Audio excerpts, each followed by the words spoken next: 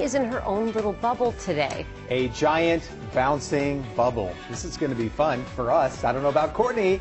Courtenay, how's it going out there? Oh, it's going. I tell you what, I have ran mm, maybe like 10 foot and I'm already winded, but it's going to be so much fun. Chris joins me with Bubble Futbol KC. This is so cool. I had never seen this until today. Right. It's actually pretty new. It's a new sport. It came out in 2012, and uh, since then it's exploded around the world. It really has. So the guys are they're they're and gals they're kind of back here playing. How does this work? Is it like regular soccer rules? Right. So it is. It's loosely based on soccer, but if you think about sumo wrestlers, But it's more fun. Exactly. And if, if you think about sumo wrestlers playing a game of soccer, that's essentially what you see behind us. it, it, it's uh, it's very very fun. Okay, now I told you when I got here, I said I've never played soccer a day in my life. Can I still do this? Oh yeah, oh yeah. You don't necessarily have to have any soccer skills. Mm-hmm. We like to say here at the company is if you can bump and you can take bumps, then you can play.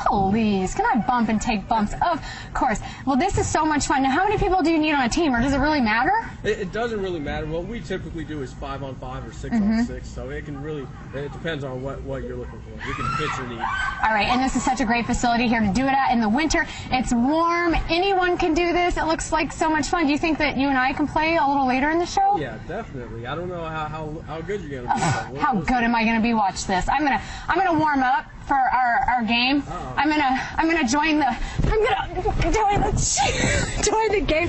We're gonna toss it back to you. I gotta practice this a little more. I think. Back to you.